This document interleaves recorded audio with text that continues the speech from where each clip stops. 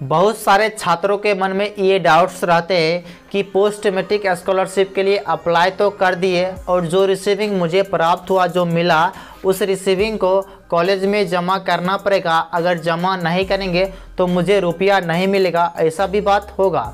तो इस वीडियो के अंदर हम आपको ये डाउट्स क्लियर करने वाले हैं कि आपको कॉलेज में जाकर रिसीविंग जमा करना है या फिर नहीं करना है। तो चलिए आज के इस वीडियो को शुरू करते हैं। पोस्ट मेट्रिक स्कॉलरशिप के लिए आपने तो ऑनलाइन अप्लाई कर दिया।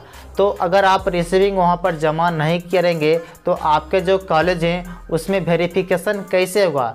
जो भी नोडल ऑफिसर होते हैं कॉलेज के जो भी कंप्यूटर ऑपरेटर होते हैं, उनके द्वारा वेरिफिकेशन किया जाता है।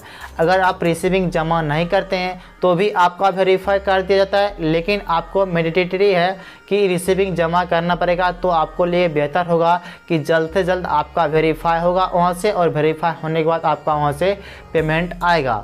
तो मैं आपको ये भी बता दूँ कि जब आप रिसीविंग जमा करेंगे तो इसके साथ और आपको क्या क्या ज़रूरी डॉक्यूमेंट्स जमा करने हैं। तो जैसे कि मैं आपको यहाँ से बता दूँ कि पोस्ट मेट्रिक स्कॉलरशिप जब आप ऑनलाइन अप्लाई कर रहे थे तो अप्लाई करने में आपको क्या क्या डॉक्यूमेंट्स लगते हैं, मैं आपको यहाँ से बता दूँ। जाति, आय, आवासीय, उसके बाद एक हो गया बोनाफाइड सर्टिफिकेट फ़ी रिसिप्ट उसके बाद मार्कशीट हो गया इसके अलावा अन्य एक दो और डॉक्यूमेंट्स लगते हैं।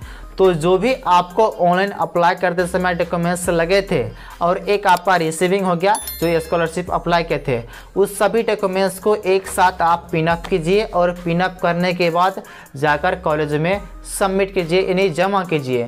तो आपका वहाँ से वेरिफिकेशन में किसी प्रकार की भी दिक्कत नहीं होगा, आपका जल्द से जल्द वेरिफिकेशन होगा और आपका पेमेंट आने की संभावना बहुत ही जल्द उससे हो जाएगी।